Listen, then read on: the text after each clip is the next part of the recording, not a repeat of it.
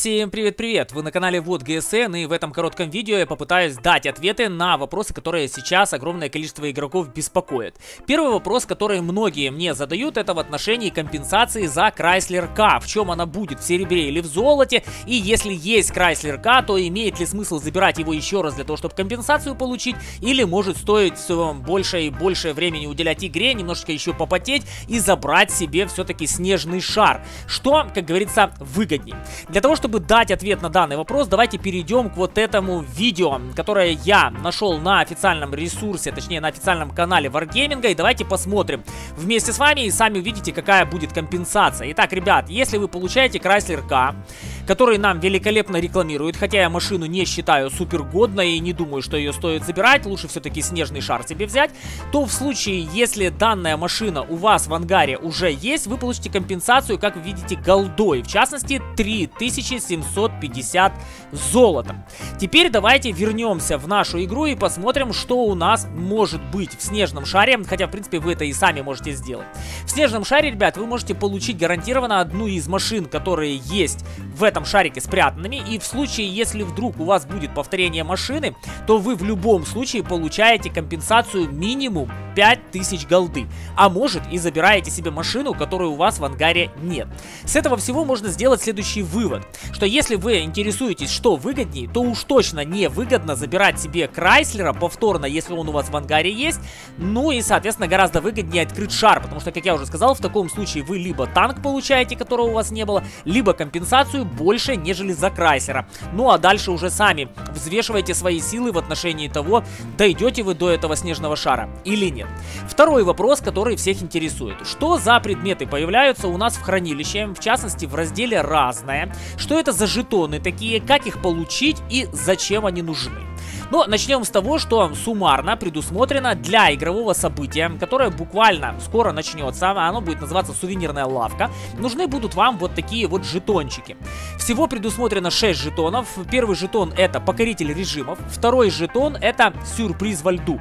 Повторяю, для тех, кто ранее меня уже слышал или читал мои сообщения и в частности был в Дискорде у меня, не путайте, пожалуйста, это с сюрприз во льду эпический, потому что эпический мы будем менять на 2024 голды, если все будет хорошо. Ну а вот этот вот как раз сюрприз во льду мы будем использовать в игровом событии сувенирная ламка. Это абсолютно два разных предмета.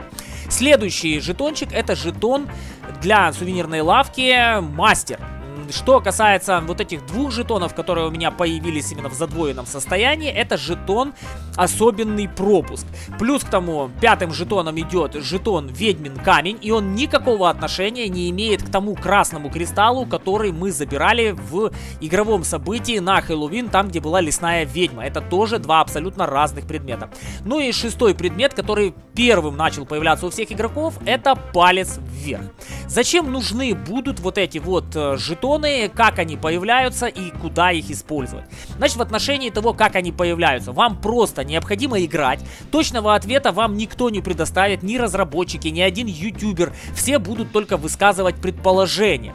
Предположение сводится к тому, что, допустим, жетон мастер дается за мастера. Да, так оно и есть, но не значит, что вы мастера должны получить именно сейчас. Вы можете получить этот жетон, если мастера получали недавно в каких-то боях. Что касается вот этого вот жетона, простите, особенный пропуск. Особенный пропуск это для тех ребят, которые покупали пропуска на Pass и каких-то месяцев, и, соответственно, им были начислены вот эти вот жетончики.